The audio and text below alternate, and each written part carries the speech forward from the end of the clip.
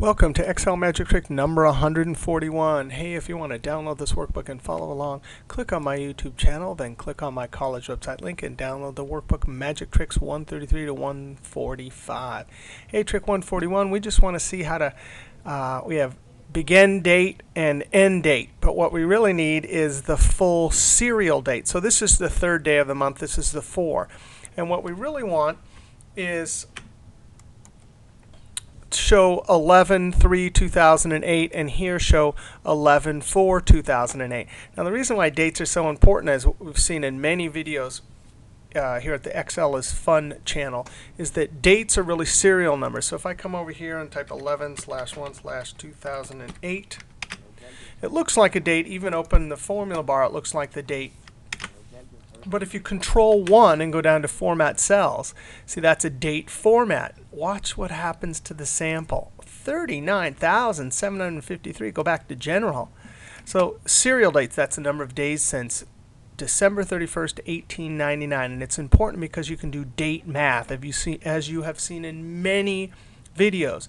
Date math, figuring out how many days a loan is outstanding, how many days someone owes interest for.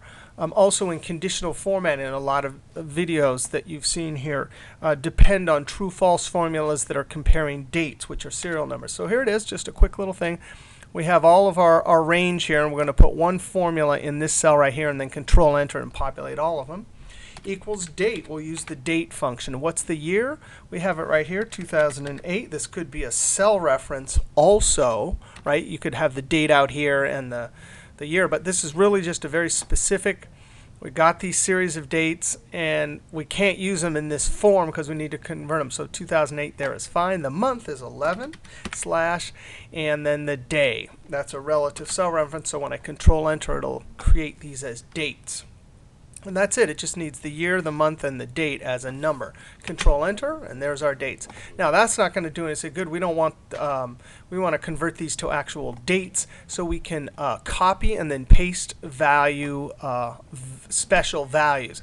Now one way to do it is Control C, and then go up to the uh, paste button in 2007 and then paste values. But I'm going to show you the uh, mouse keyboard shortcut and I learned this from uh, Mr. Excel, one of his podcasts a long time ago.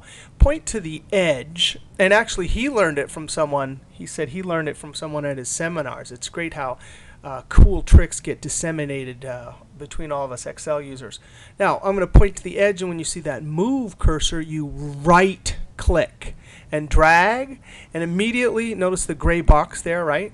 Immediately drag it back, and because you've right-clicked and dragged it, a special menu comes up, and I'm going to say copy here as values only.